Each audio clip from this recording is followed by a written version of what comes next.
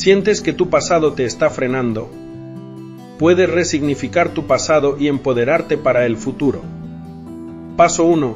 Acepta lo que ocurrió, el pasado no se puede cambiar, pero tu interpretación sí. Paso 2. Encuentra el aprendizaje. ¿Qué lecciones puedes extraer de esas experiencias? Paso 3. Crea un nuevo significado positivo.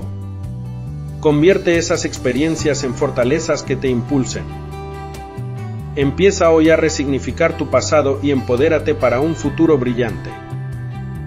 Sígueme para más consejos de transformación personal y recuerda, tú tienes el poder de cambiar tu historia.